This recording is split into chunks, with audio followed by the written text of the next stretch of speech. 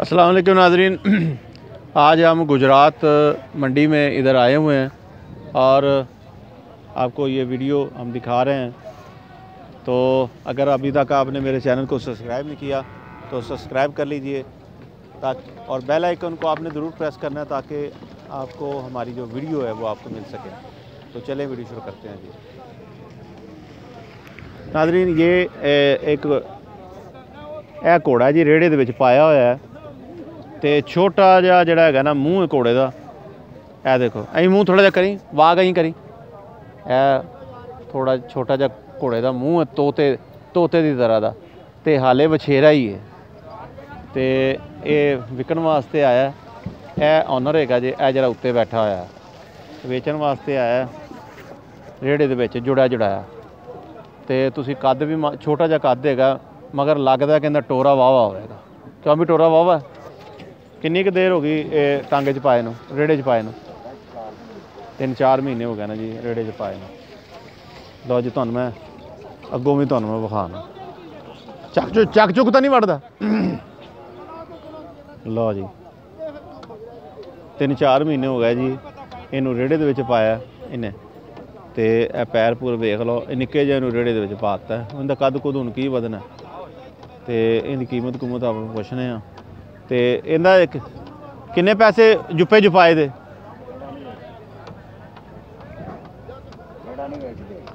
ਰੇੜਾ ਨਹੀਂ ਖਾਲੀ ਘੋੜਾ?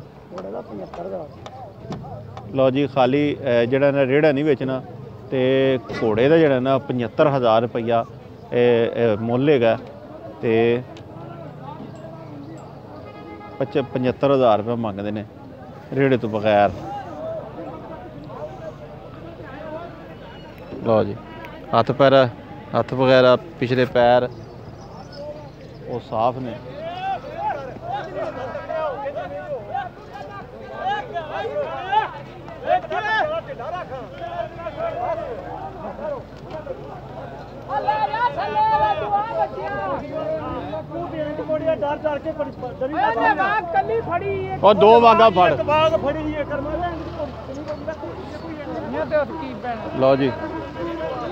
ਕੇ ਡਰੀ ਬਾਗ ਕੱਲੀ ਫੜੀ ਇੱਕ ਉਹ ਦੋ ਵਾਗਾ ਫੜ ਬਾਗ ਫੜੀ ਹੈ ਕਰਮਾ ਲੈ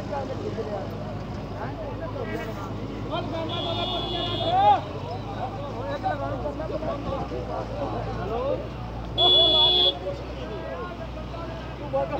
ਆ ਘੋੜੀ ਦੀ ਵਾਗ ਵਾਗ ਗਲਤ ਸੀ। ਗਈ ਇੱਕ ਛਕ ਲਈਏ ਨਾ। ਉਹ ਉਹਦਾ ਭੈਣ ਜਾਈ ਬਾਗ ਦੀ ਜਿੱਤ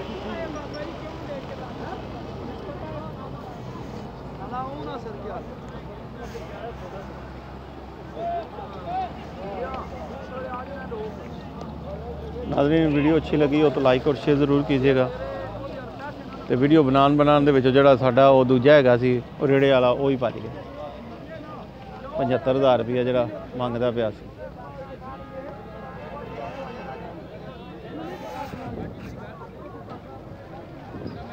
ਭਾਜੀ, ਤੁਸੀਂ ਇੱਥੇ ਅਗਰ ਆਓ ਤੇ ਤੁਹਾਨੂੰ ਅਹ, ਰੇੜੇ ਘੋੜਾ ਰੇੜਾ ਤਾਂਗਾ ਰੇੜਾ ਤੇ ਉਹ ਵੀ ਤੁਹਾਨੂੰ ਇੱਥੋਂ ਮਿਲ ਸਕਦੇ ਨੇ।